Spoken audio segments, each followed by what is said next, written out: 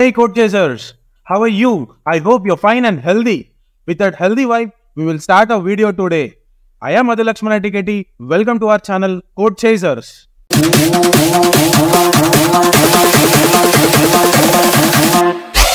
Hi everyone. In this video, we will see functions in Python with a return type. Okay. First of all, what is a function? Function is a block of code. Okay, block of code which is run when we call it. Okay, when we call the function, it will run. Okay, this is function, and we can pass data also to function. We can pass data to function. This data is called parameter meter or we can also call it as arguments. Arguments can be single, can be multiple. Okay. Whenever we call a function, function either can return something, return something, or may not return something. May not return. Okay. Uh, two types of functions exist. Functions can return something, functions may not return something. Okay. It is not compulsion that every function should return. It is not compulsion that every function should not return. Based upon the requirement, based upon the scenario, we will code the function in such a way that it may return or it may not return. Let's say there is a function, there is a block of code which we are calling it as a function, okay?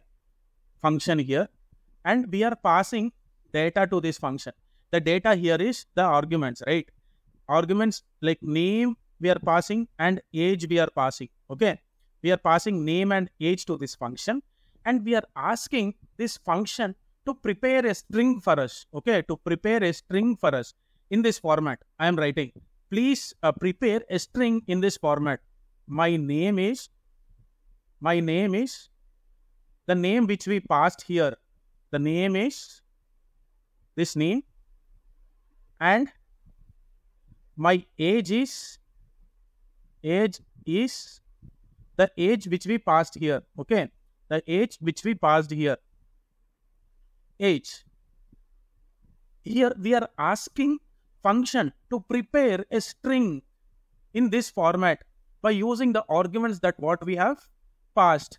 We have passed name and age right? We have we are asking function to prepare a string in this way. My name is the name that we have passed and age is the age that we have passed. Suppose i passed name as virat and age as 30 okay i'm asking function to prepare a statement saying that which states that my name is virat. Okay? My age is 30 it should prepare a statement or string like this. Okay? And we are also asking function to return it. Return. Return this particular statement. Return this particular statement. Okay? Now, how we return a statement is like we will use a keyword called return. We will use a keyword called return. Return is the keyword which will allow a function to return something. Suppose we are trying to return this particular string. The format that we need to follow here is first of all, I am writing a sample structure of the function.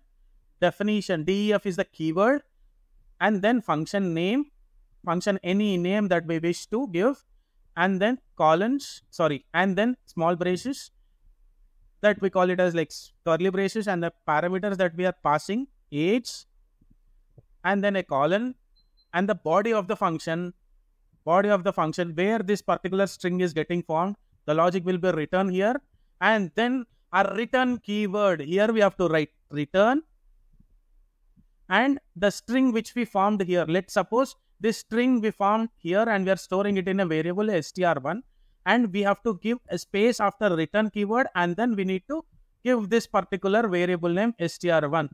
That means we are returning something from the function. We are returning something. Okay. So to keep it very simple i i already discussed this example in my earlier video. Like we will compare this with a human call. Okay. Let's suppose there is a human named madhu here human named Madhu here. Okay. Human named Madhu. His name is Madhu. And we are calling Madhu with his name verbally, right? Madhu. Hey, Madhu. We are passing some information. How are you? We are asking him. We are passing this information to him and asking him, How are you? And in return, Madhu is returning something. He is saying, I am fine. Here, first of all, we are passing some data. How are you? And this particular person named Madhu is returning a statement or returning some words. Those are, I am fine. Okay. Like the same way we are handling humans, we will handle functions here. We are calling this function. Let the function name be display name and age. Display name and age. Let the function name be this. We are calling this function, hey, display name and age. You please take this data. I am passing you data. Let's say Virat and my age, the Virat's age is 30. I am passing you this particular data.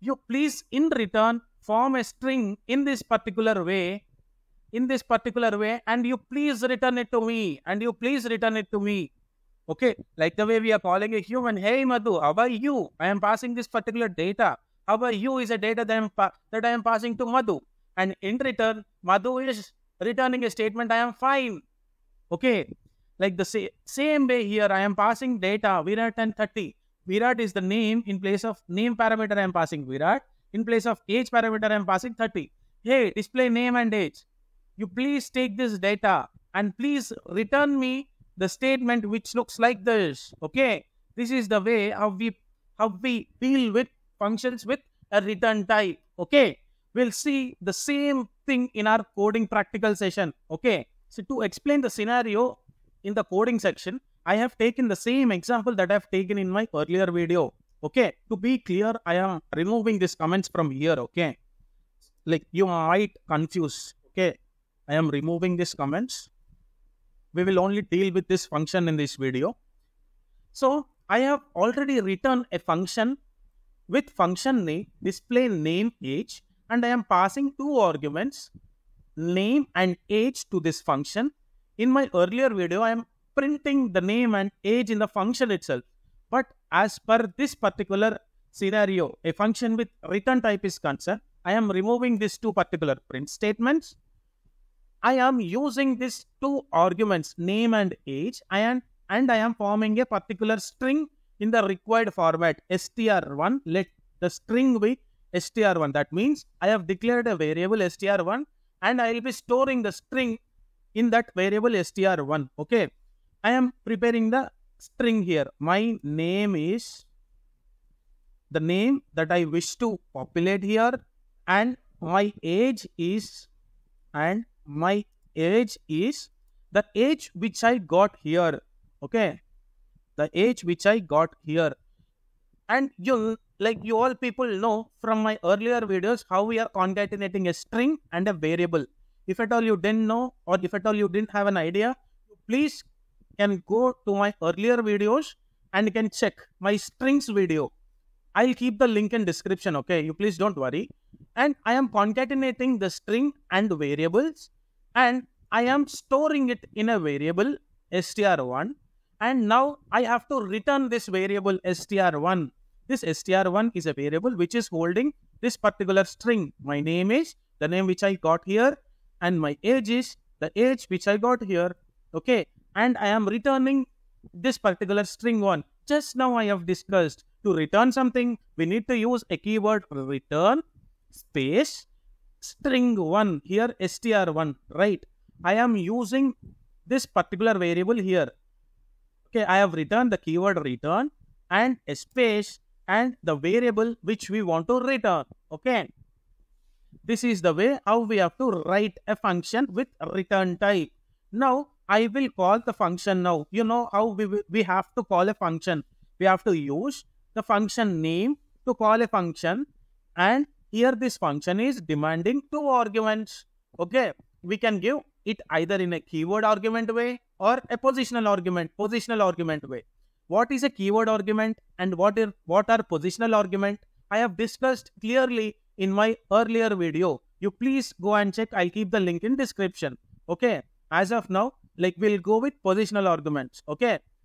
My name here, it is demanding in first position it is demanding name. So in first position, I have to give the name the that which I want to pass. I am just passing a name Virat. And in the second position, it is demanding age. So in second position, we have to give age. I am just giving 30.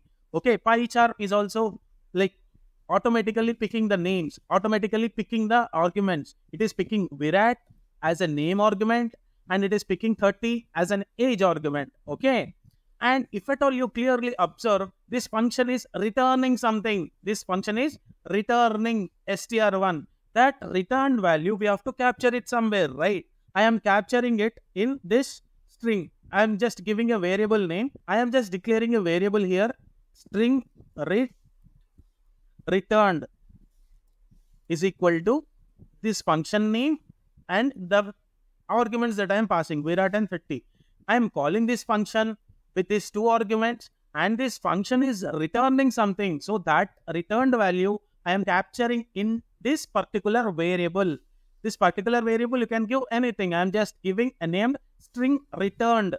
Okay, I am just capturing this particular string one in this particular variable string return. Okay, I am just printing this particular variable string return. Okay, I am just printing this particular variable. Okay. Now we will see executing this particular code. Okay. Now if at all I execute this particular code, see it is saying we can concatenate only strings but not integers to strings. Yes. Here why it is saying here is the parameter here we are passing it as age. We can't concatenate a string with an integer. Okay. So what we have to do this 30 will be captured here in this particular age parameter or age argument and my string 1 will be formed here. My name is name. The name that we have passed here is Virat. Virat is a string. It took the name as Virat and my age is here 30. Here I have passed 30, right? 30 is an integer. It is giving error while concatenating a string and an integer. Okay. For that, we will typecast this integer into string we will see that now. See, it has formed this particular string and it has returned this particular str1 and this function has returned something, right? This function has returned str1. I am capturing that str1 in this str returned, string returned and this particular string got captured here, okay? And this particular string, we are printing it, okay? And this is how we have to code a function with return type. Okay. As I have mentioned it earlier, functions may return something, functions may not return something. It totally depends on us, like how we code. It depends upon the scenario, it depends upon the requirement. We can make function to return something or we can make the function to not to return something. Okay. I hope you found this video useful and we will meet in our next video with an another interesting topic about Python. Okay. Till that, thank you so much. One quick and important information. There are three courses running parallelly in our channel. Course 1, Python full course. Course 2, PySpark with Hadoop full course. These two courses are designed for beginners and they are designed in such a way that a person who doesn't have any knowledge in any coding language can also easily understand the content in this course. So please do follow if you are interested. And the third course is Python interview preparation. This course is designed for those people who are preparing for Python based interviews. In this course, most frequently asked Python interview questions were taken and they have been answered with live coding sessions for each and every questions if needed. So, if you like my work, please do subscribe to our channel and like the video and click on the bell icon to get notified about the updates of our channel. Thank you so much.